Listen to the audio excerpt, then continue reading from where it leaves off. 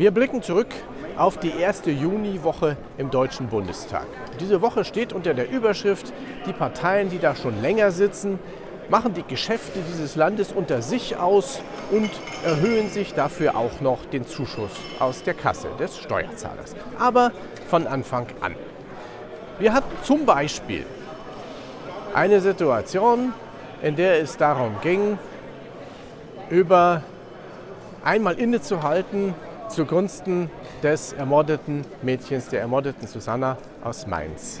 Einer unserer Abgeordneten hat eine Redezeit zum Innehalten genutzt.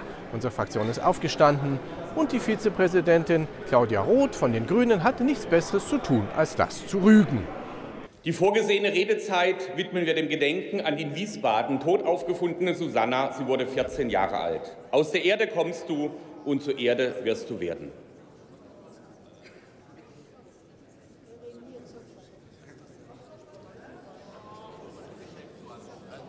Darf ich Sie Darf ich Sie hinweisen, dass wir gerade zur Geschäftsordnung reden? Und äh, ich würde auch bitten, dass Sie sich an die vorgegebene Tagesordnung und an die Geschäftsordnungsdebatte halten.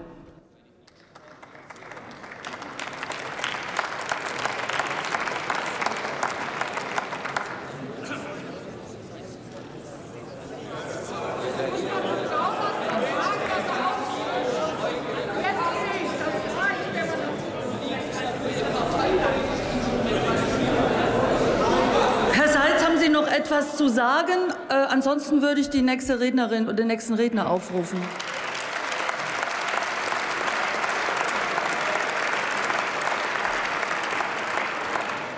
Da Sie mir nicht antworten, ist damit Ihre Rede oder Ihr Beitrag beendet und ich gebe das Wort jetzt Carsten Schneider für die SPD und ich fordere Sie auf, das Redepult zu verlassen.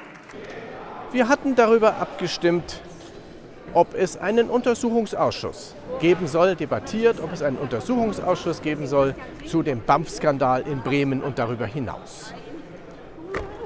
Es hat sich herausgestellt, dass außer der AfD bloß noch eine Partei bereit ist, einen solchen Untersuchungsausschuss einzurichten, um diesem Skandal in der Tiefe auf den Grund zu gehen.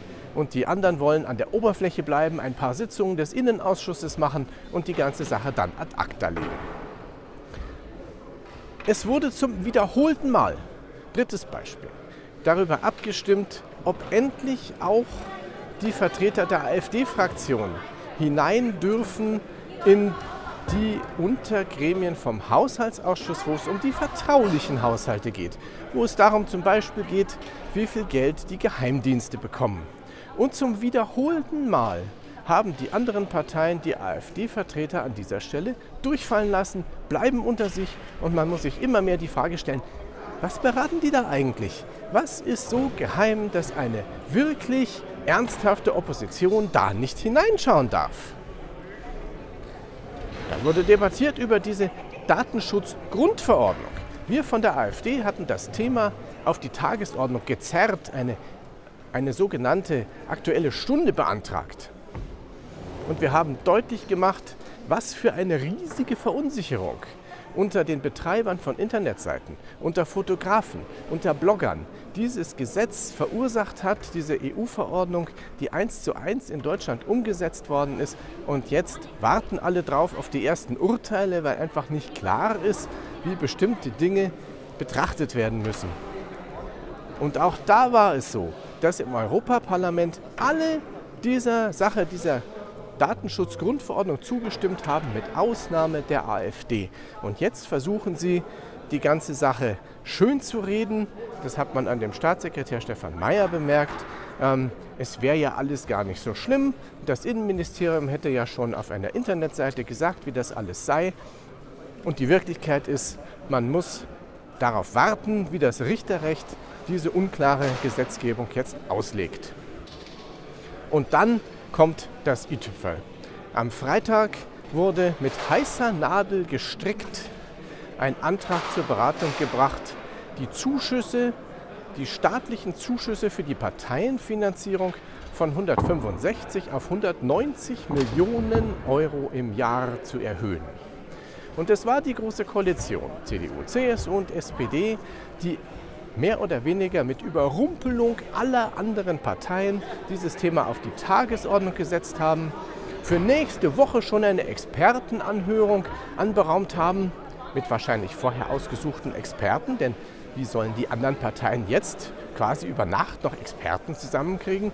Und das Ganze soll dann wohl in der nächsten Woche verabschiedet werden, während die Fußball-Weltmeisterschaft schon startet und das Publikum sich um andere Sachen kümmert.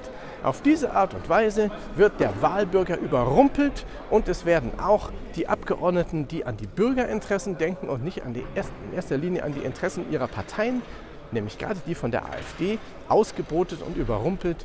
Und das ist ein Schauspiel, wie es der deutsche Wahlbürger eigentlich nicht sehen will. Davon bin ich fest überzeugt. Wir von der AfD werden weiter dagegenhalten.